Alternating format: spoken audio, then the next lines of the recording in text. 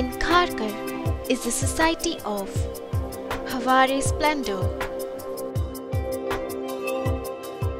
The society has modern amenities like 24 7 water supply, security personnel, parking lot, intercom facility, lift, and the society has a very peaceful and quiet ambience.